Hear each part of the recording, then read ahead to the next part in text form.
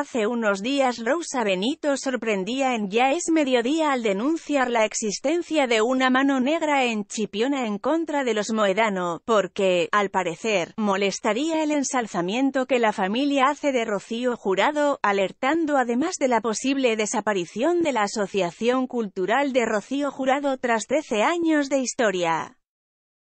una entidad que nació un año después del fallecimiento de la más grande para homenajear la figura de la inolvidable artista y que, desde hace unos meses preside Gloria Camila.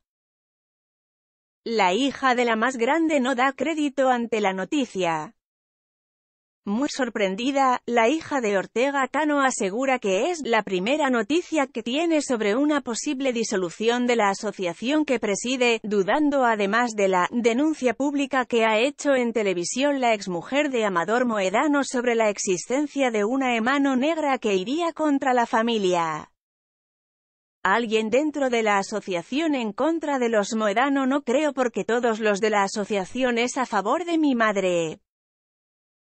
Mi madre es moedano, entonces no lo entiendo, pero vamos, primera noticia que tengo. No sé nada, señala la actriz, insistiendo en que desconoce si la asociación de Rocío Jurado corre peligro. Para Gloria Camila sería otro duro golpe, después de las hirientes palabras que ha presenciado de su hermana, Rocío Carrasco en el documental Rocío, contar la verdad para seguir viva palabras que, presuntamente, podrían haber empeorado el estado de salud de su padre, José Ortega Cano.